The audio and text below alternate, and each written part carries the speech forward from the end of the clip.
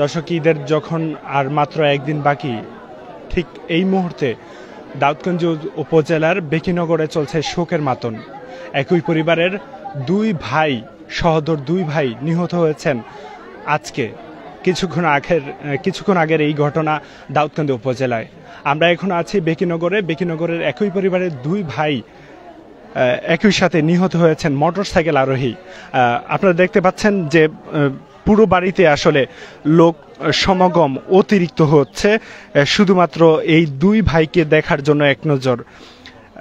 কিছুক্ষণ আগে cycle motor সাইকেলে একই সাথে দুই ভাইয়ের মৃত্যু হয়েছে।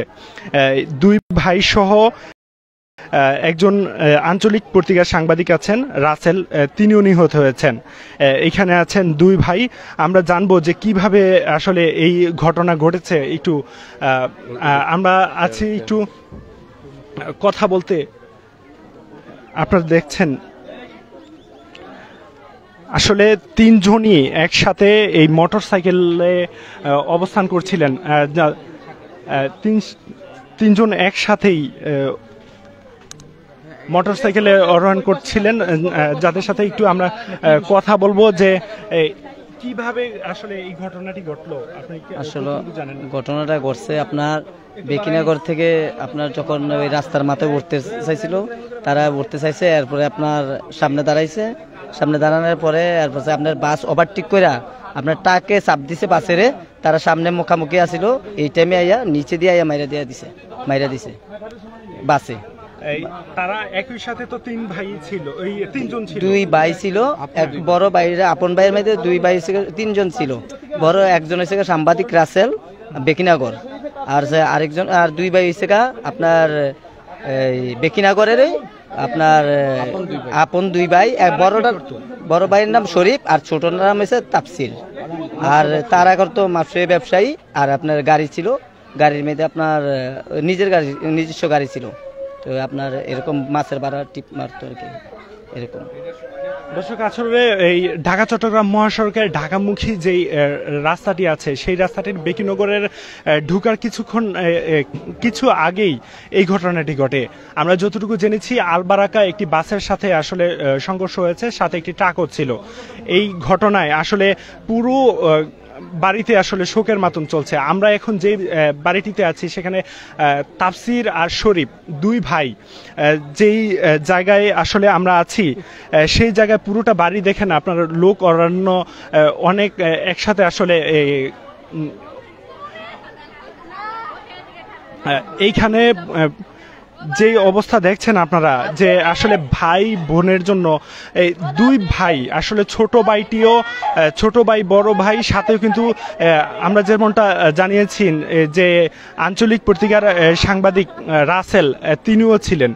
তিনজন একসাথেই ছিলেন একই একই মোটর সাইকেলে আমরা আসার পথে যে মেন রোডে দেখেছিলাম যে এই ঘটনা। আসলে ঈদের মাত্র একটা দিন বাকি, আর সেই জায়গায় আজকে যে চতুর্পাশে যে যেমনটা আপনাদের দেখাচ্ছিলাম, যে একই পরিবারের তিনজন আসলে, দুইজন আসলে নিহত হলে যে, যেই ঘটনাটি ঘটে, এখানে আসলে এমনই ঘটনা ঘটছে এমনই ঘটনা দেখাচ্ছে। তারা যাইতো লছিল বাস গাড়ি চাপ দিয়া একবারে উল্টাইয়া ভরছে রে। ওরে আল্লাহ রে। গাড়ি লইয়া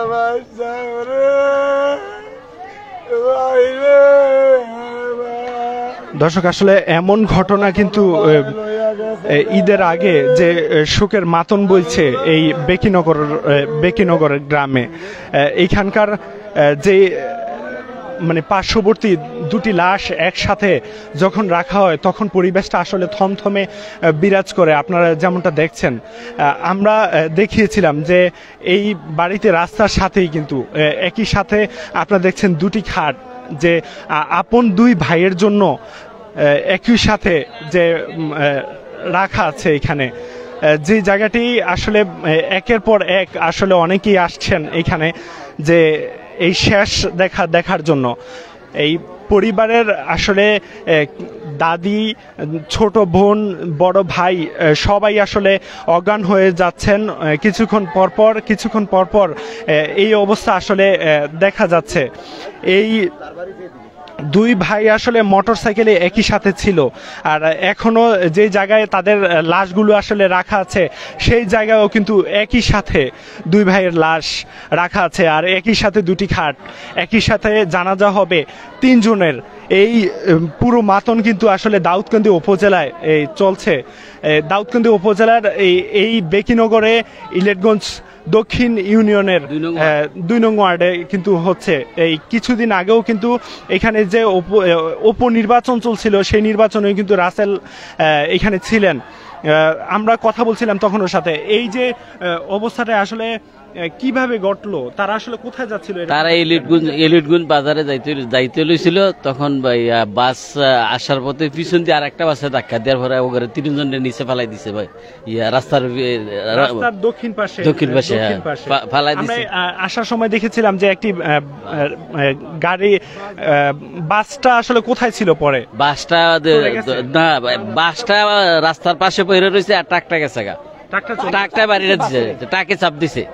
ট্রাকটা ধরার কোনো সম্ভাবনা ট্রাকটা আমার মনে হয় কেউ বলছে বাসের ড্রাইভার হেল্পার বলছে ট্রাক ধরছে নাকি এটা সঠিক ইয়া শিউর না?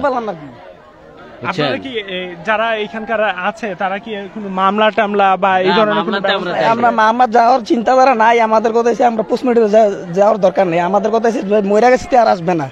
ঠিক আছে? যেটা মুরব্বীরা আছে এখানে মেডিকেল মামলা ঠিক আছে? মামলা করার দরকার নাই। আমার কথা ওই ঈদ, সামনে ঈদ এই মামলা টামলা করে পোস্টমর্টম করার দরকার নাই।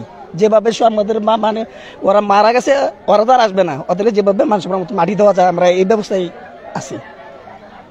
আসলে দর্শক আমরা যেমনটা বলছিলাম আসলে একই পরিবারের তিনজন একসাথে আহ, একই গ্রামের, একই বাড়ির তিনজন একসাথে নিহত আপন দুই ভাই তাপসির আর শরীফ। সাথে যে সাংবাদিক আঞ্চলিক সাংবাদিক রাসেল তিনিও কিন্তু ছিলেন একই বাইকে। আর ঘাতক যে টাকটি আছে, সেটি কিন্তু আসলে ধরা সম্ভব হয়নি।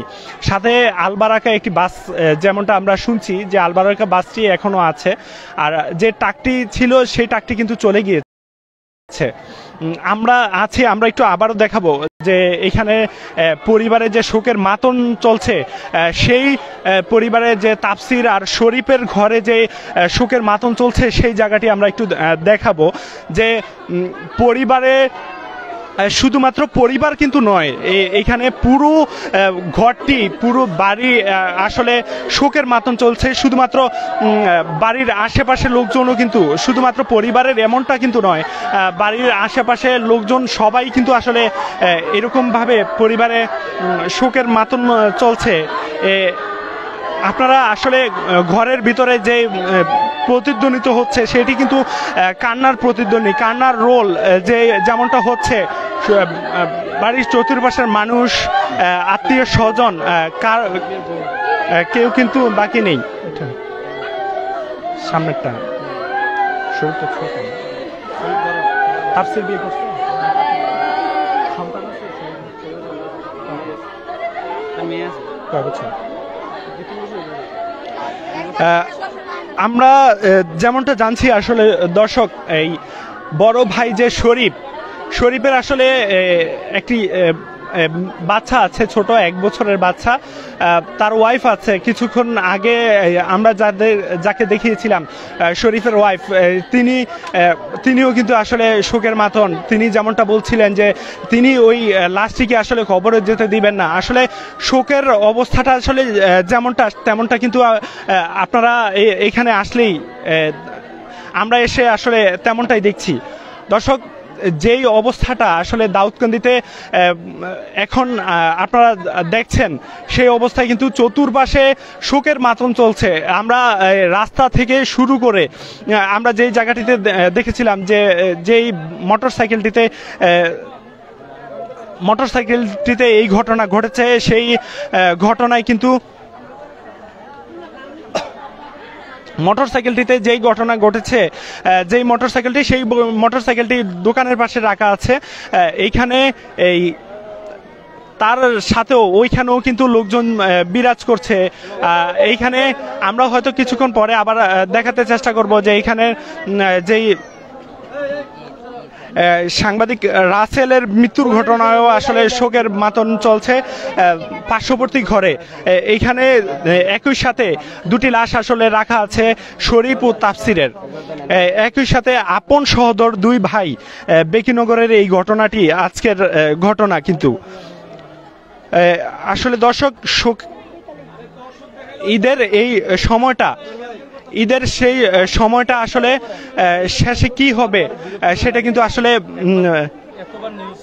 দেখেই কিন্তু বলা যাচ্ছে। দর্শক সূচনা টিভির সাথে থাকুন।